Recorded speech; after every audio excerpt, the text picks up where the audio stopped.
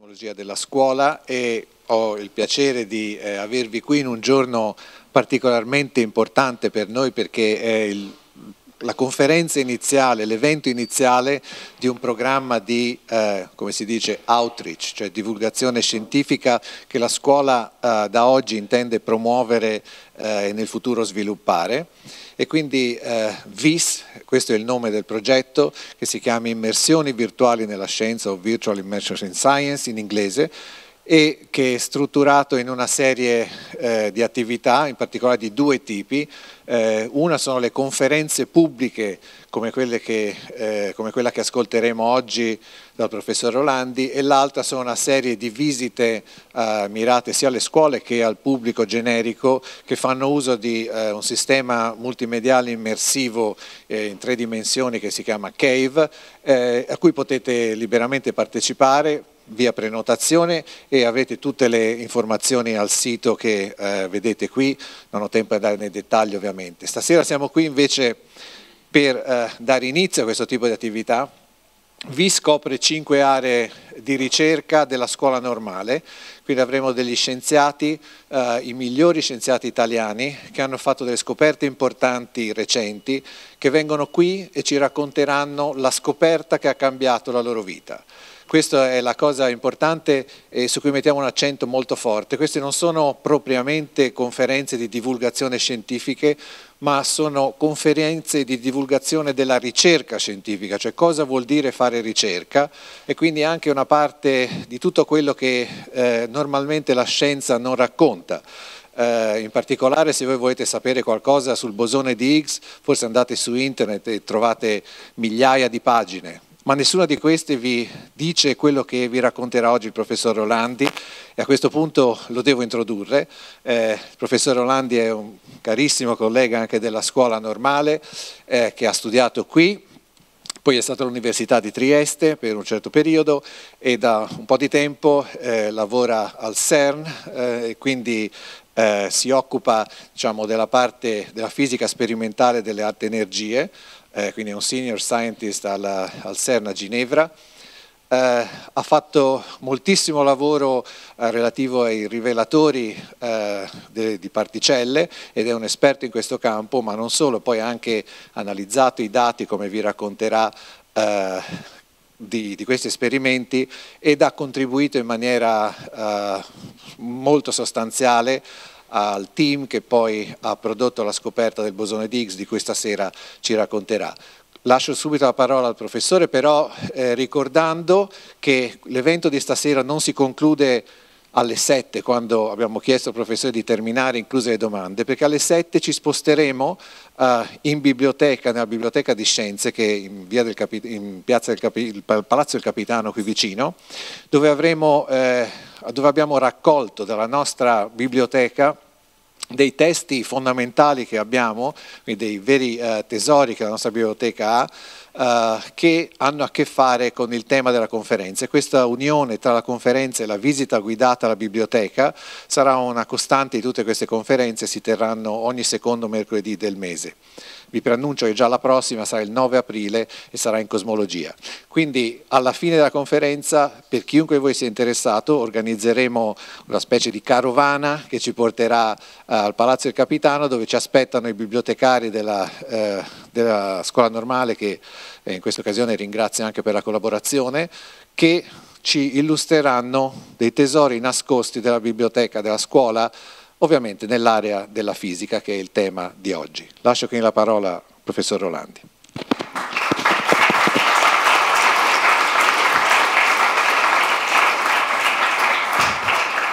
Grazie, mi sentite? Grazie Andrea, eh, grazie a tutti voi di essere qui, qui, oggi. Per me è un grande onore inaugurare questo ciclo di conferenze e vado subito in argomento. Eh, Diciamo, questa è un'immagine di Joseph John Thompson che nel 1897 scoprì l'elettrone. L'elettrone è, diciamo, è, la prima particella puntiforme veramente elementare scoperta e fu uno shock per il mondo della fisica in quel periodo, perché è una particella che pesava più di mille volte meno di tutte le altre particelle conosciute in quel momento.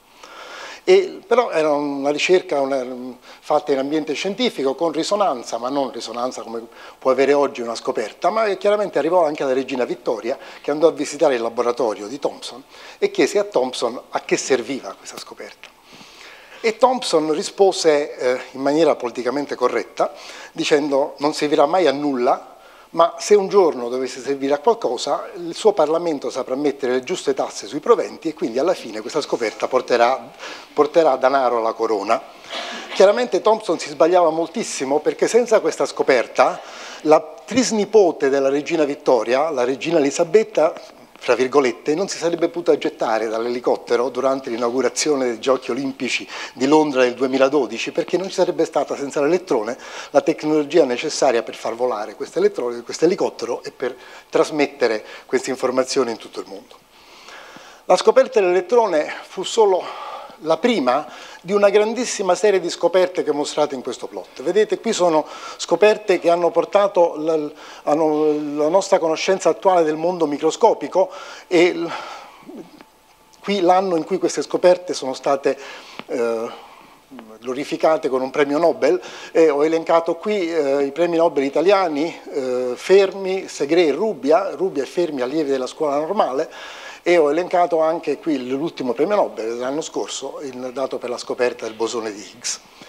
E questi, eh, noi abbiamo capito, conosciamo oggi moltissimo del, del microcosmo, e tutti quanti voi sapete che la materia è fatta di atomi, gli atomi sono, hanno al centro un nucleo, il nucleo è fatto di protoni e neutroni e probabilmente tutti quanti anche sapete che i protoni e i neutroni non sono puntiformi, esistono delle particelle all'interno di questi protoni e neutroni che si chiamano quark e la cosa strabiliante è che questi quark formano tutto l'universo, nell'universo ci sono 10 alla 80 quark, tutti identici e che si sono formati nei primissimi momenti di vita dell'universo.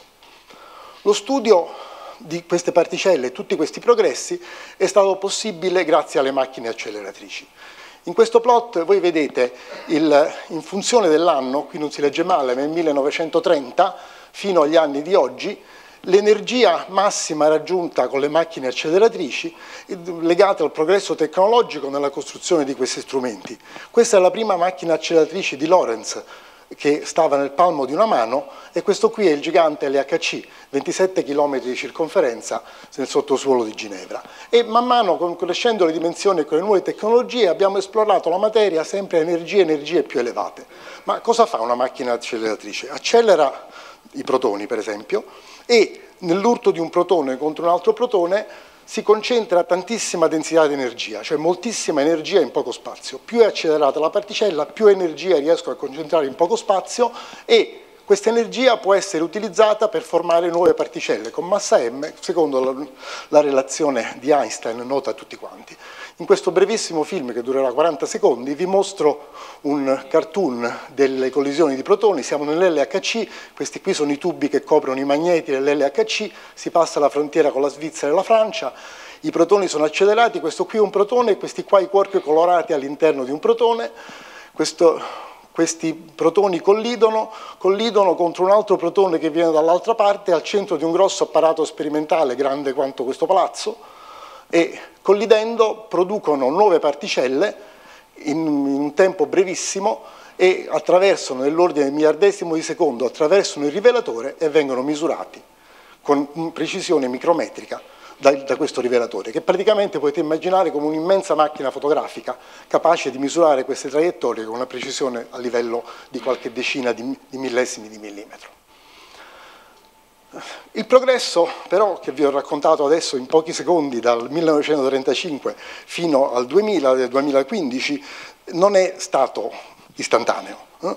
e con l'avvento delle macchine acceleratrici queste particelle venivano prodotte in grande numero no? e non si capiva. No? C'era un diluvio di altre, questo dal, dal discorso Nobel del, di Lamb, un diluvio di altre particelle elementari si manifestarono con le collisioni delle prime macchine acceleratrici, mesoni, peroni. Invece che essere premiato con un Nobel, lo scopritore di una nuova particella elementare dovrebbe essere punito con una multa di 10.000 dollari, perché non si capiva. C'erano tutte queste particelle, c'erano molte teorie, molte possibilità di capire questo zoo che veniva fuori, ma non si capiva. Non si capiva e io quando nel 73 eh, allievo della scuola decisi di studiare questo tipo di fisica si, si brancolava abbastanza nella nebbia nel catalogare e capire questa moltitudine di particelle. In effetti forse è stato proprio per questo che, che mi ha spinto verso queste ricerche insieme al fatto di aver conosciuto Lorenzo Foà, un giovane entusiasta assistente di 35 anni della scuola normale che mi aveva affascinato con le sue idee e quindi ho cominciato a lavorare in questo campo e sono stato fortunato perché nel 1974 è stato un anno di rivoluzione. Praticamente nel 1974 è stata scoperta in due esperimenti diversi contemporaneamente o quasi contemporaneamente da Sam Ting e da Bart Richter una nuova particella che ha mostrato l'esistenza di un nuovo quark, il charm. La forza di questa scoperta è che il quark, il quark charm era stato già previsto e ipotizzato dal modello di Glescio, Iliopoulos e Maiani e questa scoperta essenzialmente portò all'accettazione da parte del, della comunità scientifica del modello a quark fatto nel 64 da Gell-Mann e Zweig e contemporaneamente c'erano stati gli esperimenti a Slack che avevano mostrato che il protone non era puntiforme. Eh? Quindi diciamo nel 74 la gente incominciò a credere ai quark. Cioè quando eh, Lorenzo Foà e Italo Mannelli mi hanno insegnato la fisica delle particelle non nominavano la parola quark e nel 1975 si parla per la prima volta di esperimenti sulla ricerca del bosone di Higgs, che sino allora è una sorta di teoria di nicchia. Eh, c'è questo articolo del 75 di John Ellis, Mariché Gaillard e Nanopoulos che conclude con questa frase ci scusiamo con i nostri colleghi sperimentali per non avere idea quale sia la massa del bosone di Higgs.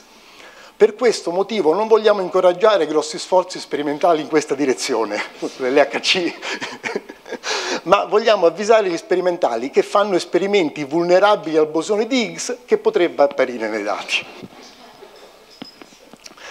E che cos'è il bosone di Higgs? Allora, partiamo un po' alla larga. Nel corpo umano ci sono 10 alla 26 quark e 3 in 10 alla 25 elettroni. Grazie al meccanismo di Higgs essi hanno massa e possono formare con le forze che li legano gli atomi e le molecole che costituiscono il nostro corpo. E quindi spostiamo la domanda da, dal bosone di Higgs, cos'è il meccanismo di Higgs? Cos'è il meccanismo di Higgs? Bene, per spiegarvi il meccanismo di Higgs in termini sicuramente non esatti, spero che Riccardo Barbieri mi, mi perdoni di questo, voglio usare la seguente eh, immagine. Se io vi dico, immaginate di fare qui il vuoto, voi immaginate di mettere un volume, di pigliare una pompa, di estrarre tutte le molecole dell'aria, a un certo punto avete estratto l'ultima molecola. Non esiste una pompa reale che può fare questo, però concettualmente immaginate che avete estratto l'ultima molecola. E avete fatto il vuoto, questo vuoto, vuoto, non c'è niente. In effetti non è così. Non è così perché quando guardo sulla materia su dimensioni molto piccole, la nostra visione classica smette di valere e quello che invece descrive bene è la meccanica quantistica. E nella meccanica quantistica valgono leggi non uguali a quelle della meccanica classica. Questo qui è un, una simulazione al computer di un piccolo cubetto di vuoto, di vuoto dove non c'è nulla, di dimensioni di eh, 3 in 10 alla meno 13 mm di lato, e in questo vuoto è pieno di fluttuazioni quantistiche, di particelle che nascono e muoiono a una frequenza molto elevata. E queste sono le fluttuazioni di energia in un cubo che non contiene materia nel senso come la intendiamo noi, ma che contiene materia istantaneamente che compare e sparisce, di solo 3 in 10 alla 13 mm di lato. E le particelle interagiscono con questo vuoto. Questa qui è una particella che interagisce col vuoto e interagendo col vuoto acquistano massa, cioè quel vuoto, fra virgolette, frena le particelle, una particella poco massiva interagisce poco con il vuoto, una particella molto massiva interagisce molto con il vuoto e viene frenata di più. E quindi questo è il meccanismo di Higgs, Braut e Englert. Il fotone che non interagisce col vuoto attraversa indisturbato e viaggia alla velocità della luce. Se le particelle non, interagi non interagissero col vuoto, viaggerebbero tutte alla velocità della luce. Quindi questa qui è la congettura, il meccanismo proposto da Braut, Engler e Higgs. E come si fa a provarla? La loro ipotesi prevede che questo vuoto interagisce anche con se stesso e oscilla. E oscilla con frequenze eh, tremende, 10 alla 26 volte al secondo, 100 milioni di miliardi di oscillazioni al secondo. Questo qui è François Engelert, Peter Higgs e Robert Braut. E se in uno scontro di protoni immettiamo abbastanza energia al momento giusto, possiamo materializzare queste oscillazioni e creare il bosone di Higgs. Quindi io, facendo scontrare due protoni, riesco a immettere nel vuoto energia reale e materializzare il bosone di Higgs. Quindi il, questo è il modo pratico di farlo con l'acceleratore, ma perché il bosone di Higgs è importante? Perché tutto quello che ci circonda, come il bellissimo palazzo della Carovana, esiste grazie appunto al meccanismo di Higgs, Braut e Englert e all'interazione delle particelle con il vuoto. Senza di esso noi saremmo così. Tutte le particelle si muoverebbero senza massa alla velocità della luce, non ci sarebbero gli atomi, non ci sarebbe il palazzo della carovana, non ci sarebbe la biologia, non ci sarebbe questa stanza e non ci saremmo noi qui a parlare. Quindi è importante capire effettivamente come le particelle hanno massa. E all'inizio degli anni Ottanta era chiaro che per materializzare il bosone di Higgs bisognava concentrare l'energia di molti GeV nelle collisioni. La nuova macchina del CERN, l'acceleratore LEP, era in costruzione in un nuovo tunnel di 27 km, lo stesso tunnel che oggi ospita l'LHC, stiamo negli anni 80. Gli esperimenti previsti per questa macchina erano di una complessità molto superiori a quelli precedenti e richiedevano un grosso numero di, mm, di, di fisici per poter essere realizzati. Quindi partirono la formazione di queste grosse collaborazioni internazionali e a quel tempo Jack Steinberger, fisico del CERN e futuro premio Nobel, propose a Lorenzo Foà di unirsi con il gruppo di Pisa a una collaborazione di molti istituti europei e americani e dopo una riunione di gruppo che ricordo ancora bene, molto vivida, decidemmo di accettare l'offerta. Perché non decidemmo subito, istantaneamente? Perché era un cambiamento importante del modo di vita. Fino allora noi facevamo gli esperimenti in una decina di persone, tutti quanti amici che ci conoscevamo nel, nello stesso laboratorio e si parlava, si usciva in un ufficio, si andava nell'altro ufficio. Dover fare un esperimento in varie centinaia di persone, da, da tanti posti, nel mondo era qualcosa che non riuscivamo a, capire, avevamo due grosse challenge, da una parte fare dei rivelatori assolutamente nuovi e mai realizzati prima e dall'altra parte trovare un, un, modo diverso per lavorare, che non sapevamo com'era, dovevamo inventarci il, il metodo. E questa qui è la lettera firmata da Friedrich Didac con cui si convoca la, la prima riunione di quello che poi diveniva la collaborazione Atlas, eh, Aleph. Vedete CERN, Dortmund, Heidelberg, MPI-Mon, Munich, Orsay, Pisa e Saclay. Questo era il nucleo iniziale e poi alla fine divennero qualcosa come un 25 istituti per un totale di circa 400 persone. Questa era una lettera, una lettera inviata col francobollo nella posta. Era un altro mondo, non c'era il web, non si comunicava col telefono e quindi capite la difficoltà di immaginare come si lavora con qualcuno che sta a Monaco, con qualcuno che sta al CERN, è tutta un, una cosa nuova. No? E giusto per darvi l'idea, per lavorare in maniera collaborativa ero a Trieste in quel periodo, ogni domenica sera, tutte le domeniche, tranne qualcuna, poche nell'anno, prendevo il treno da, da, Trieste per Ginevra, partiva alle 10 e mezza di domenica sera e arrivavo a Losanna alle 4 e mezza di mattina, andavo nel caffè, aspettavo le 6 e alle 6 pigliavo il treno per Ginevra, il martedì sera facevo il tragitto al contrario, arrivavo a Trieste alle 10 e alle 12 ero a insegnare all'università.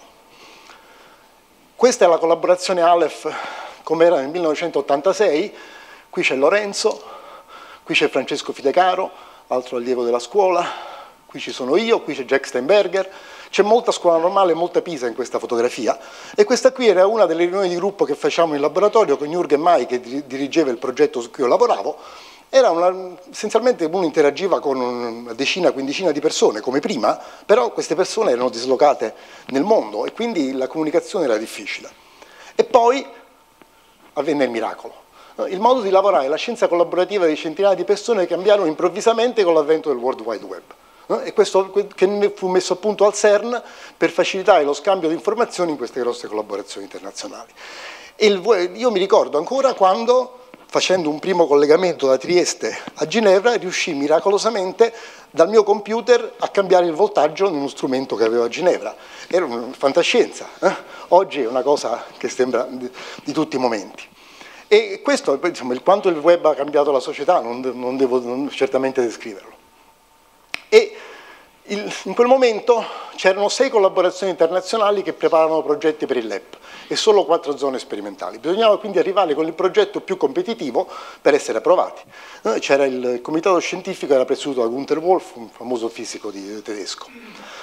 Aleph aveva scelto un progetto innovativo basato su un tipo di rivelatore nuovo inventato a Stanford da Dave Nygren chiamato Time Projection Chamber. Questo è un rivelatore molto difficile in cui uno pretende di far camminare degli elettroni per circa due metri conoscendo la loro posizione a meglio di 100 micron. Eh? Quindi ci vuole un controllo molto preciso di queste traiettorie e purtroppo otto mesi prima della decisione del comitato scientifico dall'EP arrivavano al CERN le prime indiscrezioni che la TPC di Aligre non funzionava bene e quindi c'era un momento di pericolo per il nostro esperimento perché era basato su questa tecnologia. E assieme a Francesco Ragusa iniziai uno studio teorico dettagliato del moto degli elettroni nei gas sotto influenza dei campi elettrici e magnetici e in questo gruppo, qui c'è il Francesco Fidecaro, qui c'è Roberto Mendolì, anche lui studente della scuola, in questo gruppo mettemmo insieme velocemente un esperimento e Ehm, quando arrivò l'ultimo pezzo, un laser che serviva per ionizzare all'interno di, di, di, questo strumento, passai assieme al Francesco Ragusa tre giorni e tre notti in laboratorio a fare misure e questo plot, adesso non vi descrivo cos'è, però essenzialmente le nostre predizioni erano queste curve in assolute e questi qui erano i dati sperimentali. Fu una gioia particolare, ma principalmente avevamo capito perché non funzionava la TPC di Nigren a Slack e avevamo una proposta che superava questo problema e quindi tornava tutto e potevamo affrontare con più serenità l'esame del comitato scientifico. La scienza collaborativa in Aleph. Jack Steinberger, fondatore eh, di, eh, di Aleph e premio Nobel 1988, è una personalità veramente particolare, una personalità forte, una personalità aperta, una personalità molto carismatica e lui è riuscito a improntare lo spirito della collaborazione Aleph come quello di una grande famiglia. Essenzialmente in riunioni più piene di questa stanza, con tanti fisici, ognuno con le sue idee, lui faceva parlare, si discuteva e poi alla fine indicava la strada dove andare, ma non in maniera impositiva, ma semplicemente la gente poi era d'accordo con lui. E questo, questo, spirito, questo modo di fare, questo modo in cui l'individuo metteva avanti il risultato della collaborazione prima di se stesso, fu una caratteristica di Aleph. Eh? Non tutte le collaborazioni erano così, ma Aleph era proprio una grande famiglia, si lavorava bene, si sentiva a casa e produceva bene per, per, per il bene comune. E il LEP ha funzionato dall'89 al 2000, ha prodotto una serie di incredibili risultati di fisica glorificando con una precisione di poche parti su mille il modello standard della fisica delle particelle. E abbiamo ricercato il bosone di Higgs, però senza successo. In questo plot è mostrato quello che noi abbiamo capito nel bosone di Higgs in funzione del tempo. Vedete, in funzione del 96, 97, 98, 99, cosa succedeva? Aumentavamo l'energia della macchina. Aumentando l'energia della macchina eravamo sensibili sempre a bosoni di Higgs più pesanti. Eh? E quindi qui avevamo escluso che il bosone di Higgs avesse 80.5 GeV, qui avevamo escluso che il bosone Higgs avesse 91.5, qui 96, qui 100, fino ad arrivare qui abbiamo escluso che il bosone di Higgs aveva una massa inferiore a 114.3 GeV. Perché non siamo andati oltre? Perché la macchina era piena di cavità acceleratrici, non era fisicamente possibile accelerare gli elettroni dentro il LEP a energia più alta ed abbiamo sperato. No? Questo qui è il plot finale dell'app, il bosone di Higgs doveva apparire come un eccesso di eventi in questo ultimo punto, qua, e ne avevamo tre. Questi tre ci avevano fatto sperare ma non erano abbastanza.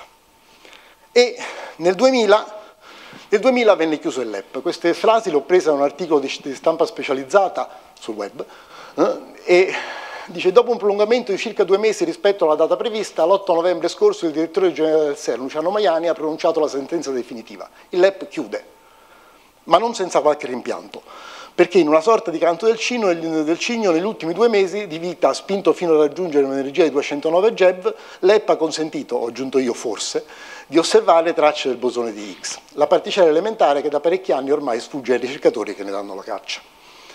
La questione di continuare o meno degli, eh, esperimenti LEP è stata discussa in diversi comitati consultivi, l'EPSI, Research Board, Comitato di Politica Scientifica, come in tutte le buone cose ministeriali in cui si manda, si demanda e si demanda, però alla fine nessuno decideva e ha dovuto decidere Luciano Maiani e non c'è stato un consenso unanime e Luciano Maiani ha chiuso il LEP nel 2000 con, chiaramente con una serie di polemiche e di dispiaceri, incluso quello del sottoscritto, eh, però alla fine a posteriori aveva ragione e tutto aveva puntato sul nuovo challenge, eh? il nuovo acceleratore LHC, la nuova sfida tecnologica.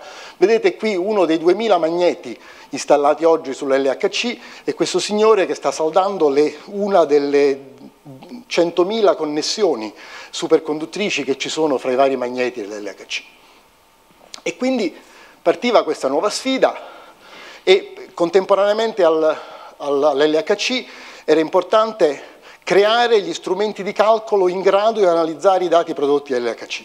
L'LHC produce petabyte di dati ogni anno, giga, tera, peta. Il, ehm, se li mettesse su CD fareste qualche torre Eiffel tutti gli anni e non c'è al mondo un computer singolo capace di, di analizzare tutti questi dati, per cui si è dovuto creare la grid, uno strumento che collega fra di loro in maniera trasparente tutti quanti i computer, eh, diciamo 100.000 computer di 34 paesi con linee, con linee ultraveloci e che ha permesso di analizzare i dati dell'LHC. Ma anche un grosso salto in scienza collaborativa, gli esperimenti Atlas e CMS sono immensi in ognuno di essi lavorano circa 3.000 scienziati e ingegneri da 2.200 università e da circa 40 paesi. Quindi un salto di un fattore 10 più in alto di scienza collaborativa rispetto a quello che era, che era Aleph. Io dal 2000 al 2005 ho diretto la costruzione del rivelatore centrale di tracce dell'esperimento CMS, una sfida formidabile, ricostruire in 25 miliardesimi di secondo le migliaia di tracce prodotte dalle molteplici interazioni dei protoni di LHC con precisioni micrometriche. In questo disegno vedete i vertici delle varie interazioni dei protoni che arrivano contemporaneamente e un ingrandimento, questo, questa dimensione qui sarà un paio di millimetri, delle, delle tracce ricostruite e questo qui sono ancora visioni più allargate degli stessi eventi. Com cosa vuol dire fare questo, questa costruzione? Vuol dire che io per cinque anni ho smesso di fare il fisico. Io ero il manager di un'industria di circa 700 persone, un budget di circa 90 milioni e ho dovuto interagire con industrie tipo eh, IBM, eh, eh, Amamatsu per riuscire a piazzare contratti milionari, per riuscire a, a produrre assieme all'industria tutti gli strumenti particolari che non esistevano prima. Abbiamo dovuto inventare da zero un modo di poter costruire questo esperimento. Quindi ho fatto il manager di industria, per anni non sono andato alle conferenze di fisica e ho fatto un manager di industria particolare perché io non avevo il controllo di tutte queste 700 persone. Questi qui erano i 40 istituti che partecipavano a fare il tracker, ognuno con i suoi interessi locali, con le sue tesi da fare, con la sua necessità di visibilità locale, quindi un lavoro assolutamente non banale, in cui uno sul piatto mette semplicemente il, proprio potere personale, il, proprio carisma e la propria capacità di convincimento e il concetto di un bene comune che poi alla fine fa convergere tutte queste operazioni. E questo progetto, per darvi un'idea, e richiedeva la costruzione di 16.000 moduli di silicio, l'elettronica associata, la struttura in fibra di carbonio per sostenere tutto il software necessario al controllo, la lettura, delle, la lettura e la ricostruzione delle tracce.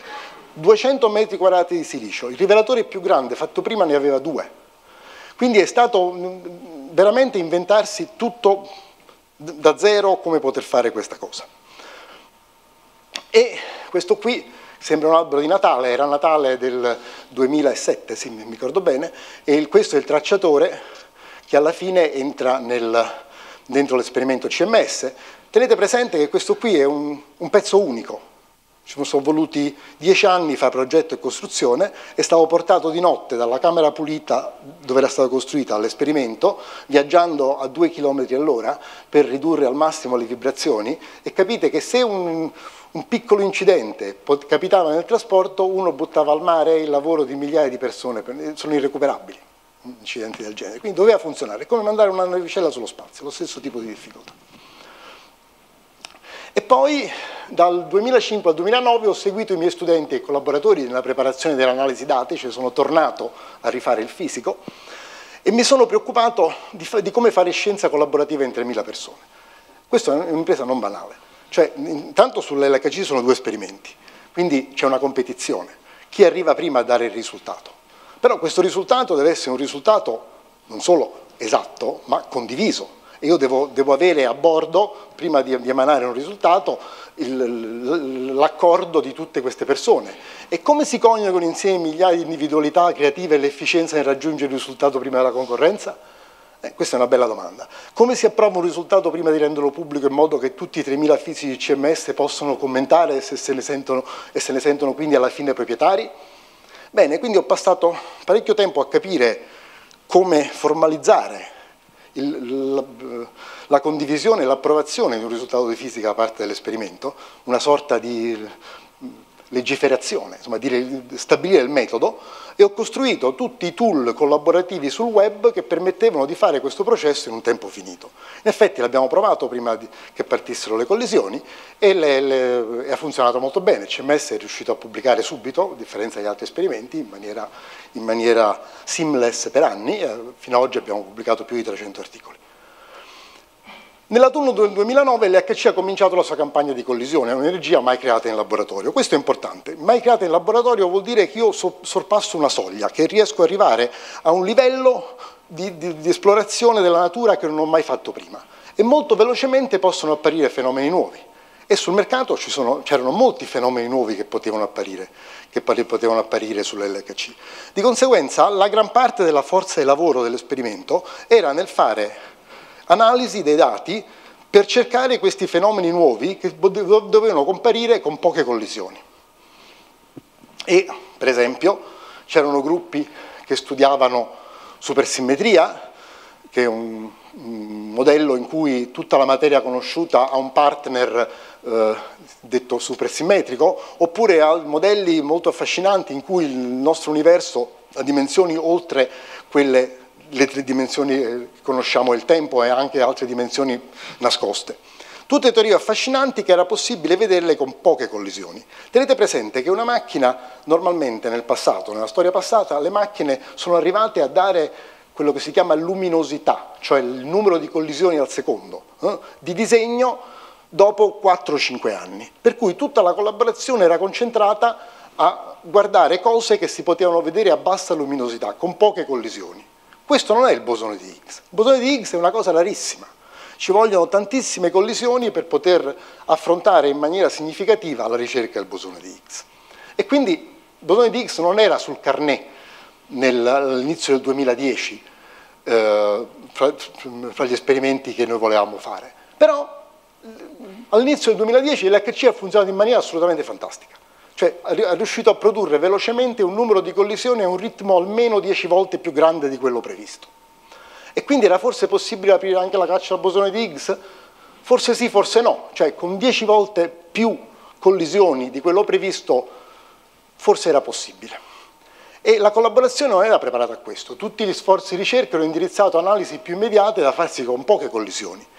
Io in quel periodo coordinavo tutte le analisi di CMS e quindi dovevo dirottare le forze su questo nuovo fronte affascinante e imprevisto, ma anche una scommessa, eh? perché tutti i gruppi volevano continuare a guardare una possibile scoperta di supersimmetria o una possibile scoperta di un, di un qualche fenomeno nuovo.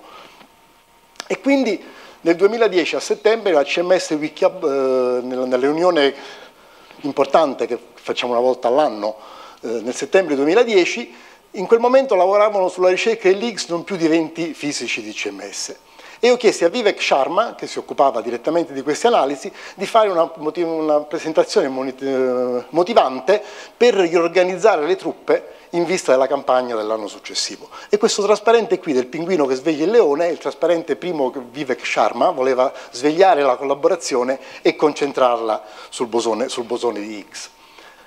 E in effetti riuscimmo a fare questo e nel luglio 2011 avevamo raccolto un fantobarn inverso e andammo alla conferenza dell'European Physics Society a Grenoble con dei risultati pronti e mostrati in questo plot. In questo plot cosa si vede? Diciamo, il fatto che questi dati coincidano con questa linea verde vuol dire che non abbiamo visto un bosone di Higgs in questo intervallo di massa. Il fatto che questi dati qui siano vicino a 1 in eccesso alla linea gialla vuol dire che forse lì potevamo, c'era speranza di vedere qualche cosa del tipo bosone di Higgs. Però l'effetto non era eclatante ed era veramente molto importante capire cosa aveva visto Atlas. Io non sapevo cosa aveva visto Atlas, lì siamo alla conferenza e c'era questo plot ICMS mostrato e aspettavo che lo speaker di Atlas mostrasse il suo plot. E questo era il suo plot. Anche loro avevano eccesso in questa regione, intorno a 140 GeV. Veramente significativo, però non sufficiente per poter dichiarare una scoperta. Mm? E ricordo bene in quella conferenza la stampa che veniva a intervistare la gente, a me e alle altre persone che stavano in giro e volevano farci dire che avevamo scoperto il bosone di Higgs, però diciamo, secondo gli standard scientifici c'era un, un, vago eccesso ma non era significativo da poter, da poter, da poter uh, dire che avevamo fatto una scoperta. Però l'LHC continuava a funzionare benissimo e noi ci preparavamo per un seminario di sei mesi dopo il fine anno al CERN. In settembre l'HC continua a superare se stesso, noi godiamo e soffriamo. Godiamo perché abbiamo tanta luminosità e quindi effettivamente questa ricerca del bosone Higgs può essere portata in fondo. Soffriamo perché gli eventi con l'alta luminosità sono di una complessità tale che il nostro sistema di computing non ci sta presso. Non ci sta presso, avevamo un piano per poter seguire questi aumenti, ma gli aumenti di luminosità erano troppo veloci. E quindi eh, facciamo un cambiamento, questo cambiamento porta a ritardo di quattro mesi, insomma alla fine tirando i denti siamo riusciti a, a usare i computer fino all'ultima all potenza possibile e siamo arrivati. Nel frattempo si cominciano a vedere i primi risultati, al CERN nei corridoi si sentono indiscrezioni che Atlas ha qualcosa. Noi non avevamo qualcosa, avevamo poco. Eh? Però Atlas aveva qualcosa, quindi sono arrivato a questo seminario di nuovo in un auditorio gremito di gente è uscito questo plot. Atlas aveva, questo plot cos'è? La probabilità che un certo segnale visto sia eh, compatibile con, come si dice, con un falso. Se questa probabilità è molto piccola, qui vuol dire 10 alla meno 4, vuol dire che c'è un segnale. La nostra convenzione si dice che c'è un'evidenza quando questo picco va sotto 3 sigma. Atlas aveva un'evidenza di un bosone di Higgs di 125 GeV. E noi, e noi no, noi avevamo solamente due sigma e mezzo, però ha la stessa massa. È chiaro che se uno combina questo e questo, c'è un'evidenza molto più importante. La comunità dei fisici alla fine di questa riunione era convinta che esisteva il bosone di Higgs a 125 GeV. Atlas era stato, era stato, fortunato, aveva preso più eventi di quelli che dovevano arrivare in quel periodo di, di tempo con cui aveva preso dati, però succede. Comunque l'uscita di questo seminario era tale che c'era un auditorio gremito di gente e tutti quanti erano convinti che avevano trovato il bosone di Higgs a 125 GeV. Però non abbiamo annunziato la scoperta, perché la scoperta si annunzia quando questo picco arriva a 5 sigma. Ci volevano altri dati. Ci volevano altri dati e è stata una decisione politica di dire annunciamo la scoperta quando entrambi gli esperimenti arrivano a 5 sigma. Scienza collaborativa in CMS. CMS è una collaborazione di circa 170 istituti con una forte presenza americana e un budget di operazioni di 15 milioni annui. È governato da un management board e ha un Parlamento con una rappresentante per istituto, quindi con 170 eh, rappresentanti, che si chiama Collaboration Board. Il Collaboration Board elegge il Chief eh, Executive Officer, che in gergo si chiama spokesperson, che resta in carica per due anni. È un, è un altro mondo rispetto a Aleph. Eh? Aleph era una famiglia, Qui è un, un qualche cosa dove ci sono interessi politici, interessi finanziari molto importanti e quindi bisogna procedere con delle regole che, che tengono in conto anche la politica, gli interessi nazionali e le cose così. Io mi ero presentato per le elezioni a spokesperson nel 2011, ma nel luglio 2011 il Collaboration Board elesse spokesperson Joan Candela dell'Università di Santa Barbara e quindi per me è stato un momento complicato stato un momento in cui avevo sentimenti contrastanti, perché chiaramente la, la stella è sempre la scoperta, è sempre la fisica, però d'altra parte anche uno ha piacere, di, eh, se compete evidentemente vuole anche vincere, eh, e quindi avevo un po' di sentimenti contrastanti, ma dal, dal, primo di gennaio del 2012 io sono tornato a fare in CMS privato cittadino, cioè a seguire i miei studenti tutti i giorni, con, spero con loro beneficio, e a occuparmi di CMS in, in maniere non manageriali centrali. E questo qui è un trasparente del, dell'annuncio al CERN del 4 luglio del 2012 della scoperta del bosone di Higgs, cioè quando entrambe le collaborazioni avevano raggiunto quelle famose 5 sigma che avevo, che avevo eh, notato. Qui vedete la Fabiola Gianotti, la spokesperson di, di Atlas, l'altro esperimento, qui Joe Candela, spokesperson di CMS, il direttore del CERN, Sergio Bertolucci, che è il direttore di ricerca italiano del CERN, e qui nell'audience, adesso non so esattamente dove, volevo indicare Giovanni Petrucciani, perché Giovanni Petrucciani, che è un allievo della scuola, ha discusso qui il dottorato, forse una delle prime tesi fatte sul bosone di Higgs, ha giocato un ruolo centrale sulla ricerca del bosone di Higgs. Dovete pensare che qui siamo tantissima gente, ma il lavoro vero poi lo fanno i ragazzi, come sempre. Eh? E quindi il, gente come Giovanni ha avuto veramente un ruolo, un ruolo particolare. E diciamo, il, chiaramente il bosone di Higgs, la scoperta del bosone di Higgs è stata pubblicizzata nella stampa in maniera assolutamente centrale, grandissima risonanza, tutti voi sapete cos'è il bosone di Higgs e la stampa ha certe volte delle esigenze che sono eh, diverse da quelle delle collaborazioni o del, dell'avanzamento in scienza. La stampa cerca la notizia, la scienza è cauta nel dare la notizia, la scienza vuole dare la notizia quando è certo, la stampa cerca il titolo della grande scoperta, ricordate il neutrino, Einstein si è sbagliato. No? E il, ehm, per come siamo organizzati, tutte le scoperte sono collaborative, cioè tutti siamo, partecipiamo alla scoperta. La stampa cerca la vedette, cerca di assegnare alla singola persona questo effetto. E quindi ci sono chiaramente sentimenti contrastanti come sono viste queste cose. Fabiola Gianotti ha avuto la copertina del Times e eh, diciamo, questo qui è stato vissuto da moltissimi come un evento bello perché Fabiola ha la personalità giusta per vivere queste cose in questa maniera. Cioè Fabiola è una che ha sempre saputo mettere la collaborazione avanti a se stessa, è sempre qualcuno che ha fatto sempre chiaro che il, le, le, il lavoro non era un lavoro suo, ma era un lavoro fatto da tantissima gente messa insieme. E eh, Fabiola ha ricevuto una parte del premio Milner e questo premio Milner è stato dato da Fabiola alla collaborazione per mettere borse di studio per, per i giovani ricercatori. Non tutti hanno fatto così e questo ha creato una tensione mm, un po' nel, nell'ambiente eh, che diciamo, eh, è, è frutto della storia, è frutto delle cose. Bene, no, perché mi mettono la mia barca? Io non ho finito. Non ho finito. Fatemi finire con un, una cosa di fisica. Noi abbiamo misurato che la massa del bosone di Higgs a 125 GeV e qui è riportata la massa di un'altra particella che si chiama top. E vedete che la zona dell'universo dove noi siamo è qui, proprio a livello fra una zona in cui l'universo è stabile e l'universo è metastabile. Cosa vuol dire metastabile? Vuol dire che lo stesso meccanismo che ha fatto nascere questo vuoto particolare col bosone di Higgs, quando l'universo era giovanissimo, aveva una frazione piccolissima di secondo di vita, si ripeterà di nuvo si ripartirà di nuovo con una scala dei tempi dei prossimi 15, 15 miliardi di anni. Cioè il nostro universo andrà, secondo quello che è scritto in questo plot, attraverso un'altra fase di transizione, eh? per cui le particelle a un certo punto si comporteranno in maniera diversa. Questo non arriverà domani mattina, quindi non vi preoccupate, ma succederà fra moltissimo. E come ogni scoperta, e nascono nuove domande. Perché l'universo come lo conosciamo è proprio sulla regione di transizione fra stabilità e instabilità? Cioè è una regione particolare, perché proprio lì? Eh? Perché non è al centro della regione di stabilità? Quindi ogni scoperta fa nascere nuove domande e questa è la grande bellezza non decadente della fisica. Eh?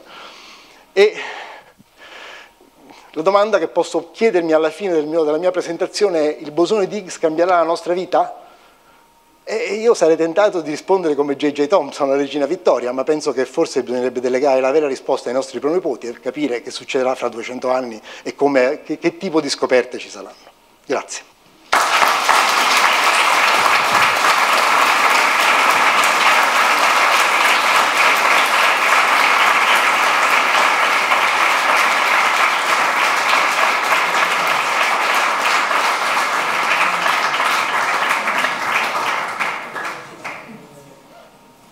Beh, voglio ringraziare il professor Rolandi per la bellissima presentazione.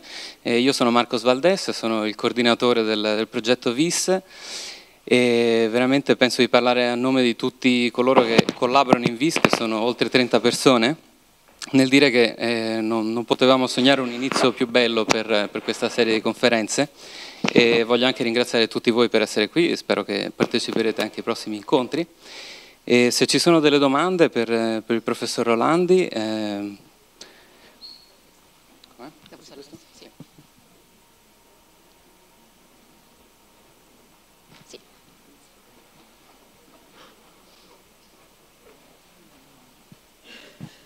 Buonasera, eh, mi sono rimasto molto colpito del racconto della scienza collaborativa, perché l'ha vissuto proprio in prima persona. E, che una domanda, una constatazione, mi piacerebbe che questo qui fosse un modello replicabile in tutta la società. Voi avete fatto un esperimento di collaborazione interessantissimo, eh, di collaborazione, ecco, oltre che di fisica, al di là della bellezza della fisica. Certamente, certamente.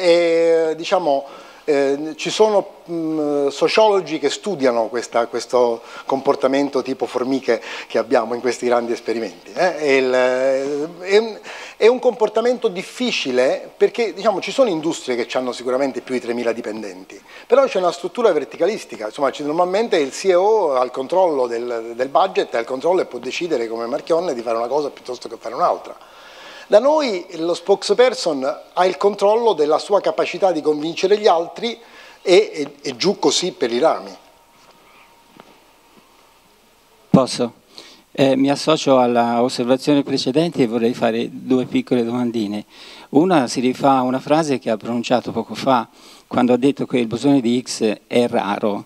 È una cosa rara, mi chiedo, perché è, uh, sono solo esperimenti di altissima energia che riescono a evidenziarlo o è raro per anche per qualche altro motivo. Questa seconda evenienza non mi giunge particolarmente facile da capire se è vero che il bosone di Higgs sta alla base della struttura più elementare della materia e che, è quello che ho sentito dire fornisce in qualche maniera massa alle altre particelle normali, quindi ci deve essere immagino l'universo praticamente pieno di, di, bosoni di Higgs, anche se forse non è facile farne saltare fuori qualcuno perché sono eh, estremamente energetici.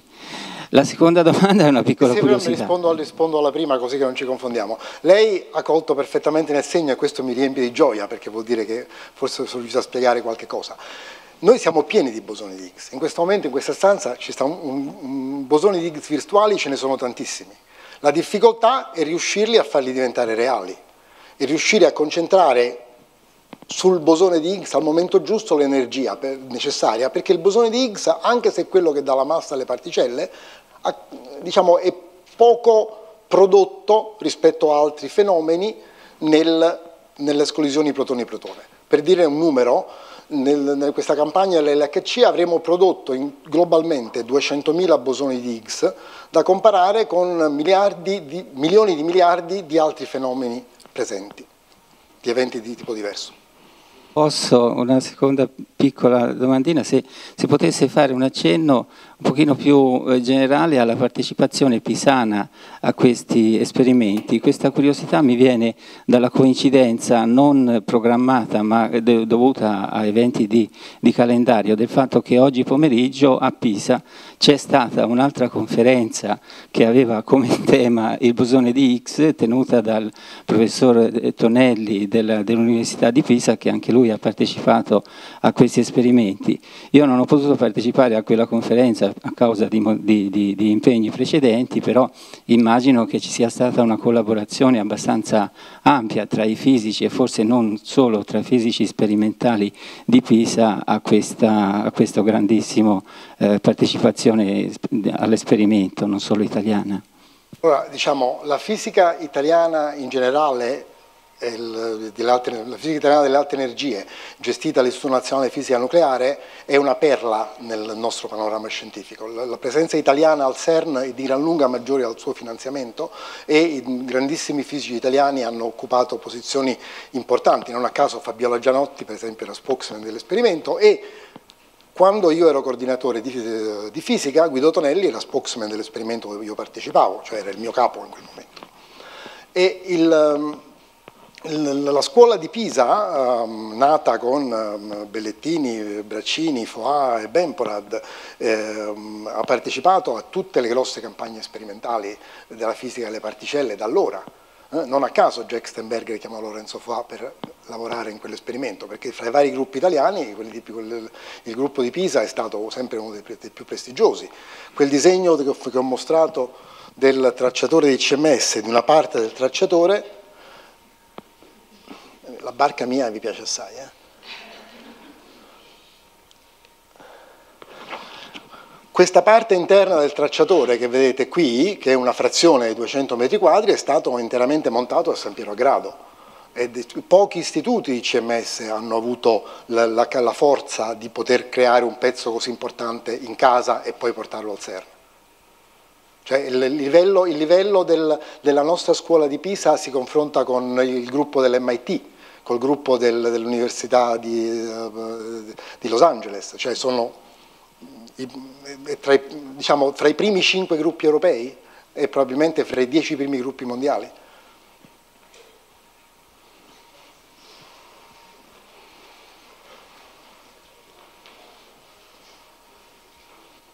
Grazie. C'è ancora una cosa che non capisco. Voi avete prodotto a CERN in questi ultimi anni miliardi e miliardi di particelle, tutte massicce, diciamo a parte i, i vari fotoni eccetera eccetera, e soltanto qualche migliaia di bosoni di Higgs. Eh. Ognuna di queste particelle dovrebbe in qualche maniera essere influenzata da qualche bosone di Higgs o mi sbaglio? Quindi vi sono scappati miliardi e miliardi di bosoni di Higgs oppure Ora, mi sbaglio? Eh, c'è, un punto, c'è, un punto, importante. C'è una differenza fra quello che si chiama particella bosone di Higgs e quello che si chiama campo di Higgs. La congettura di Higgs stabilisce che il vuoto non è vuoto nel senso classico, ma è permeato da un campo e le particelle interagiscono con questo campo. Questo è quello che dà loro massa. Poi, questo campo, oltre che dare massa a tutte le particelle, non è, cosa, non è, non è come la superficie del mare piana, è una superficie completamente oscillante, piena di onde, e queste onde sono onde velocissime, 10 alla 26 1 conseguito da 26 zeri oscillazioni al secondo. Queste oscillazioni, se io gli do una botta giusta al momento giusto, posso materializzare un bosone di Higgs. Questo, quindi sono due cose molto collegate ma diverse fra di loro, non c'è contraddizione.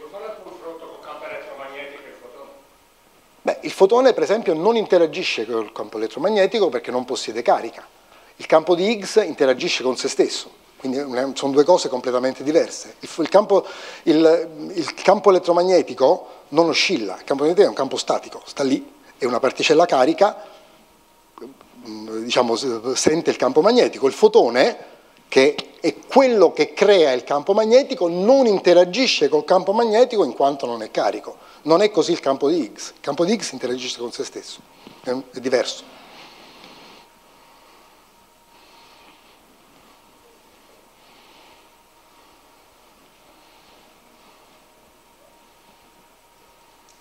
Allora, sì, se, se, non ci sono altre domande, ringrazio ancora il professor Rolandi, ringrazio tutti per essere qui.